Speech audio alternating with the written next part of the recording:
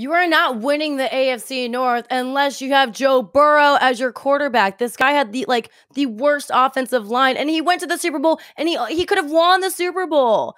I mean, if Aaron Donald didn't come in, like come on, like why like I'm actually looking at the division odds right now and I'm stunned. It's very close, but the Ravens and the Browns are tied up like plus 200 points or plus 200 right now. Just narrowly behind that plus 210 for the Bengals, but like what that does not make any sense to me. Like I get it. You have Deshaun Watson. The Browns were long shots before that. They were 40 to 1 odds. Again, like you said, we don't really know exactly what their odds are right now, but it is mind boggling to me that they're just going to jump way up because they got a quarterback who's like may or may not going to be around to play, even though he's guaranteed money. Like, it, what? And they're what in talking about here.